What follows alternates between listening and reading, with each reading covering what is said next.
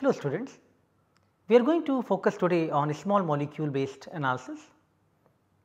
In the previous lecture, you have learnt that the identification of small molecules which binds specifically to the proteins or hot spot regions of the proteins can become crucial in discovery and development of new pharmaceutical drugs and for elucidating the complex pathways in biological system. The primary goal of small molecule screening in pharmaceutical industry is to identify suitable candidates on the basis of their binding to the selected target molecules. The first stage of the process often involves screening large candidate libraries to identify the promising candidates against a protein target.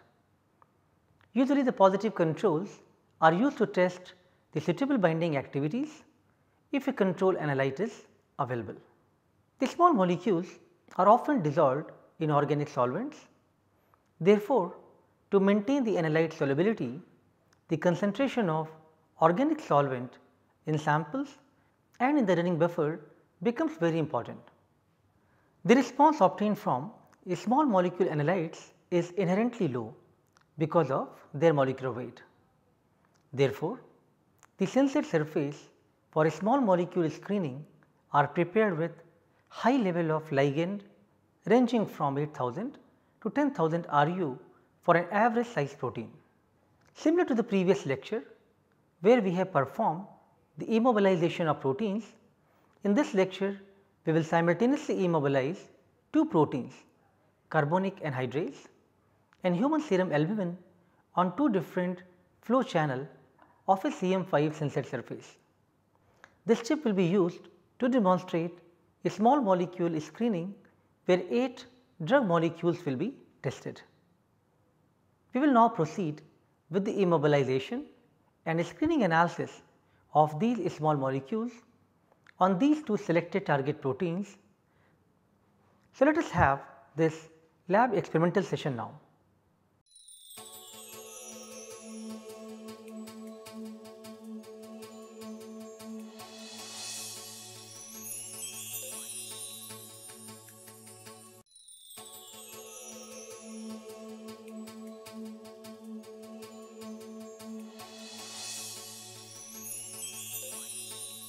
In this session, we will understand the interaction of proteins with small molecules.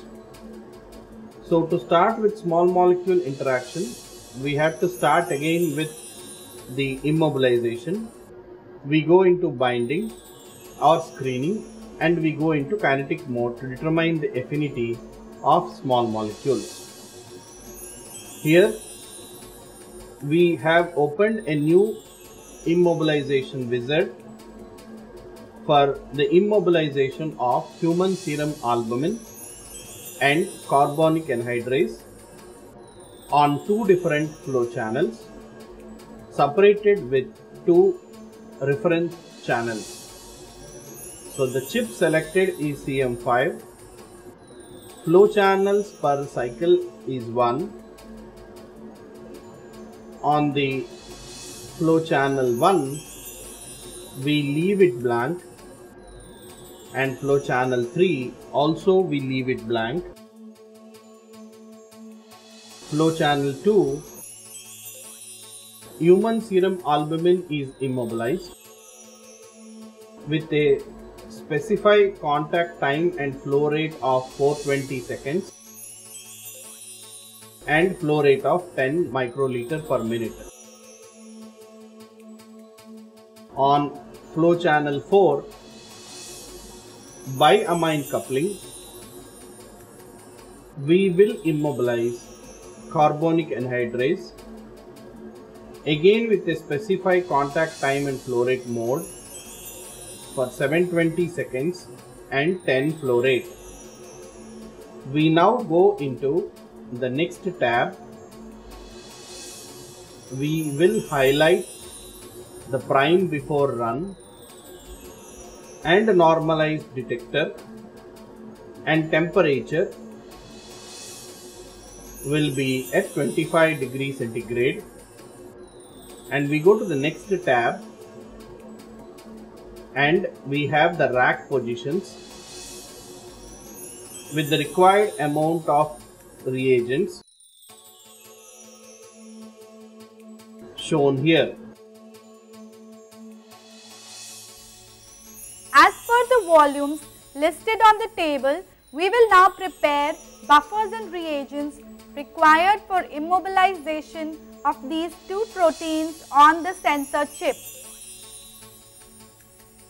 The proteins are prepared at working concentration of 25 microgram per ml for human serum albumin and 100 microgram per ml of carbonic anhydrase using an immobilization buffer of pH 5. We will be using 1.05x PBS buffer as the running buffer which will be connected to the system followed by priming. EDC and NHS as prepared and suggested in the amine coupling kit for surface activation will be used in 1 is to 1 ratio. 1 molar ethanolamine HCl pH 8.5 is prepared for blocking the free ester groups on the surface. Lastly, we would require BR normalization solution to normalize the resonance signal in all flow channels to compensate for small differences between individual sensor chips. After preparation of these samples and reagents, we transfer the sample tubes to the appropriate rack and start the run as shown for beta 2 microglobulin immobilization in earlier lectures.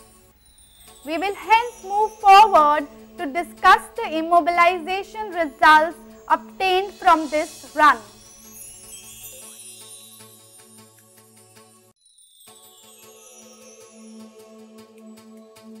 From our experimentation, the following are the results for the immobilization of human serum albumin and carbonic anhydrase on two different flow channels. We see here from the immobilization results. Here you can see on the screen immobilization of human serum albumin by activation of the surface with EDC NHS, passage of the ligand to the sufficient amount required, blocking with ethanolamine and immobilization. On the cycle 2, similarly you have activation with EDC NHS mixture, passage of ligand and blocking of the surface with ethanolamine to reach an immobilization level of 11466. With this, we are done for the immobilization of HSA which is human serum albumin and Ca carbonic anhydrase on the surface of the chip and the chip is ready to go for the binding experiment.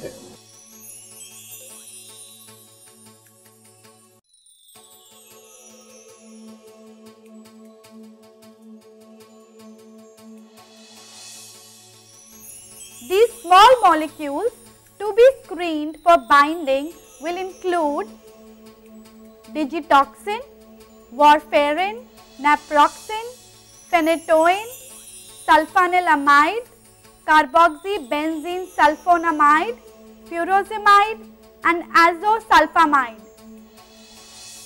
Some of these molecules are specific to HSA whereas rest are specific to CA. Furosemide being specific to both. Warfarin will be used as a positive control for human serum albumin and furosemide for carbonic anhydrase. We will also use 5% DMSO in running buffer as negative control. Since small molecules are often soluble in organic solvents such as DMSO and so are these drug molecules, it can result in large bulk responses since reference flow cell has room for more DMSO than active flow cell with ligand. That is why we need to prepare a solvent correction curve by preparing solvent correction solutions with varying DMSO concentrations which will range from 4.5% to 5.8% DMSO. We inject these solutions over the active and reference surface and then create a solvent correction curve which will result in corrected binding responses. We will now move forward to set up the binding assay wizard to screen small molecules for binding to human serum albumin and carbonic anhydrase. Here we will set up our experiment to check the interaction of some small molecules binding to carbonic anhydrase and human serum albumin. So for that we need to prepare a method and the method actually has the startups 5 one round of sample injection solvent correction which are 8 different correction solutions are passed on the surface and the DMSO effect on the responses is subtracted. Control samples like positive and negative controls were also included in this mode.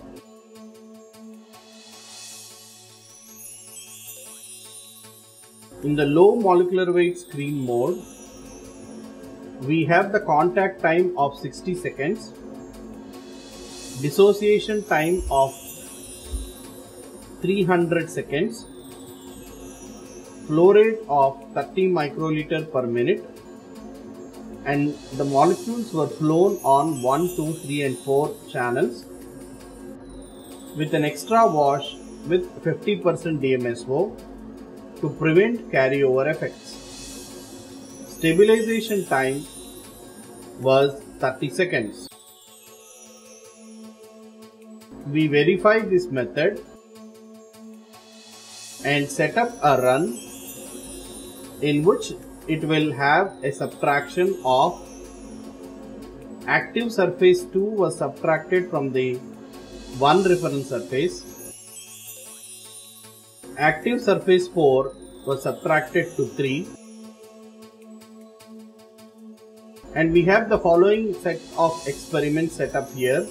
We have 5 startups. One set of solvent correction of 8 runs injected here. 3 sets of control samples which include negative and positive control.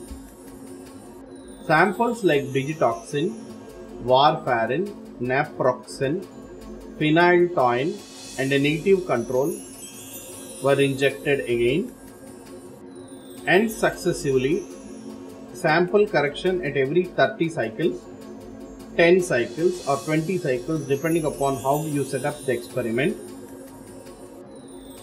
And finally another round of control samples injected so once we are done with that, we highlight prime before run and this is how we prepare the template for the experiments. With solvent corrections provided, buffer for the startup provided, various samples pipetted out in DMSO and warfarin, furosemide as positive and negative controls and 50% DMSO for wash in between each cycle.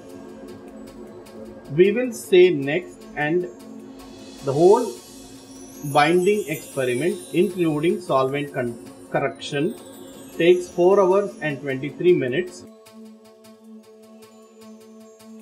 and requires at least 200 ml of phosphate buffer saline with 5% DMSO included in the running buffer. Preparation of the running buffer, preparation of the samples, checking for the solubility, checking for the aggregation is very important when we set up our small molecule interactions. Immobilization level should be high.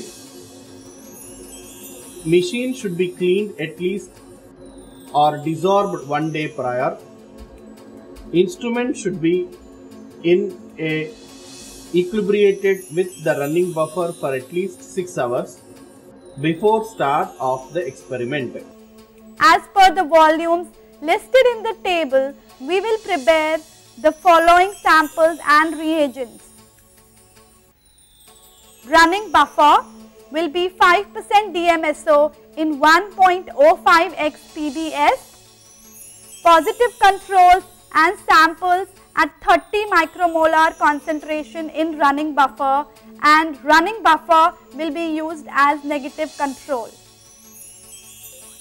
A wash solution is prepared with 50% DMSO in water and lastly 8 freshly prepared DMSO solutions ranging from 4.5% DMSO to 5.8% DMSO are prepared for solvent correction.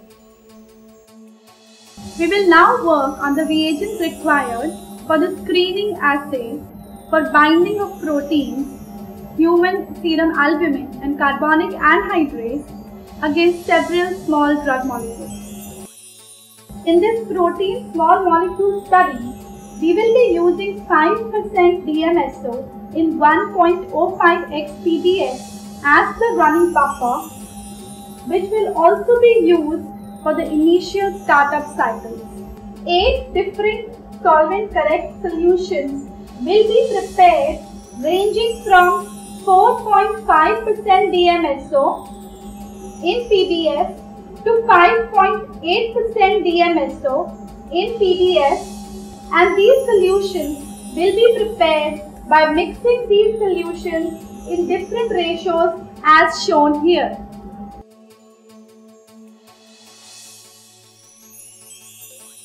Thus, we will number these tubes as 1 to 8 and add 200, 400, 600, 800, 1000, 1200 and 1400 microliter of 4.5% DMSO in tube 2 to 8 respectively. Following this, we will add 1400, 1200, 1000, 800, 600, 400 and 200 microliter of 5.8% DMSO in tubes 1 to 7 respectively. We will mix these solutions vigorously and put the lids on and keep them in dark until we are ready with other samples.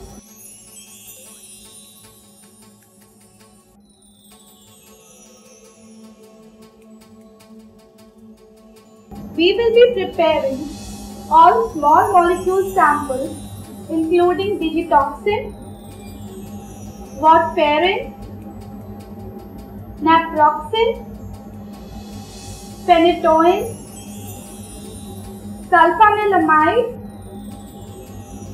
carboxybenzene sulfonamide, furosemide and azosulfamide from 1.05x PBS and 10 millimolar stock solutions of these drug molecules using DMSO solution according to the tables shown here. So a final concentration of 30 micromolar of small molecules will be used for this screening assay. For washing, we have also prepared 50% DMSO in water using 600 microliter of DMSO and 600 microliter of water in a 16 mm vial. Running buffer will also be used as negative control in this experiment. All of these samples and reagents have now been allocated in the required volume in these specialized tubes. We will now proceed to insert these tubes including the samples at 30 micromolar concentration, the negative control, the startup, 50% DMSO as wash solution and the solvent correction solution into the appropriate rack and then into the system to perform the protein small molecule screening assay. We have now placed all our tubes inside the rack including the wash solution, the samples, the solvent correction solutions, the startup solution and the negative control.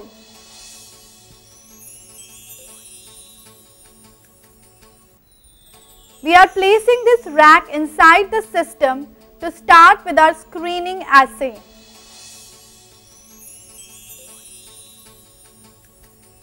We will now start with our run as demonstrated in the earlier lectures.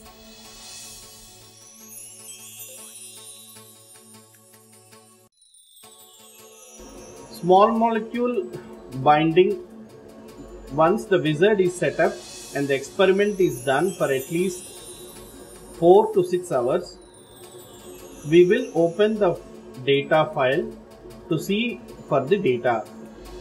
So this is how the data looks like with all the control samples sample solvent correction and startups are overlaid on each other. Here we can see we have the reference surface active surface as our human serum albumin. Again we have a reference subtracted surface 2 minus 1 and we have the reference surface 3 again an active surface for the carbonic anhydrase. And the reference subtracted 4 minus 3 surfaces. When we go here on the overlay we see startup cycles solvent correction negative and positive control samples and various samples that were injected on the surface of the two active ligands.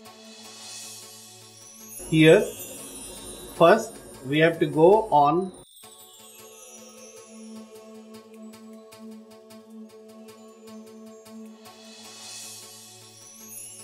add solvent correction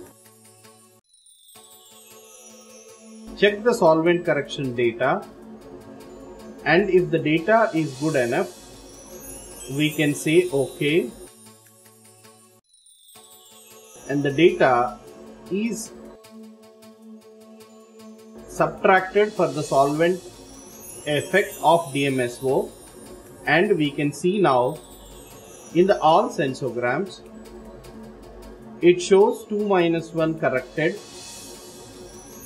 and simultaneously 4 minus 1 corrected with the solvent correction data that we have generated. Here another point is that we could evaluate the data in a bar chart mode.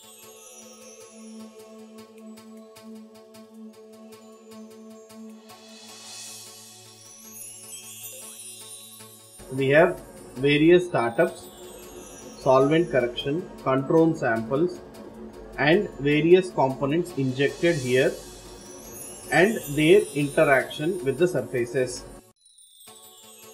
Also, similarly at 2 minus 1 corrected position, we can see similar kind of a data.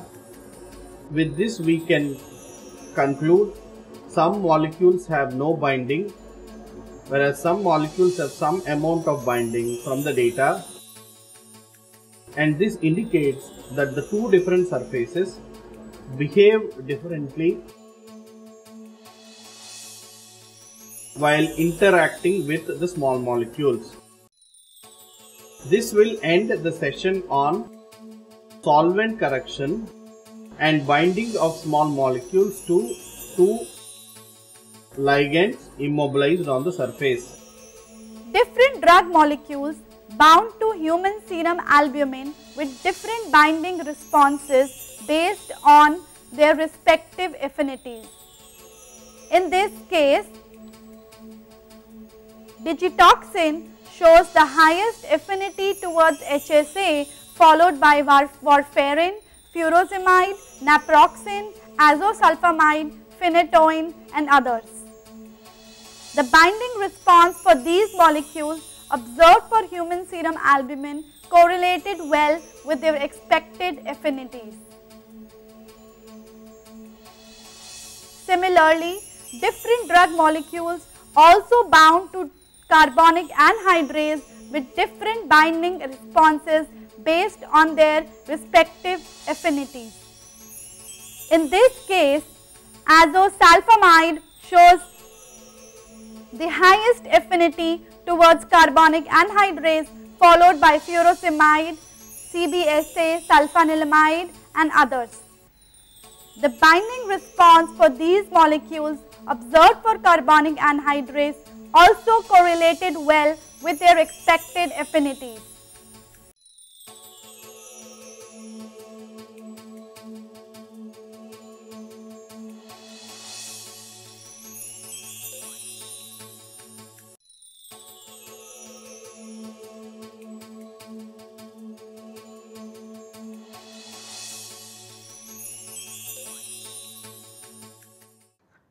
In today's lecture, you must have observed that different small molecules have different binding response and affinities for the two bound protein that is serum albumin and carbonic anhydrase. We will continue this experiment on protein small molecule interactions for kinetic analysis in the next lecture. Thank you.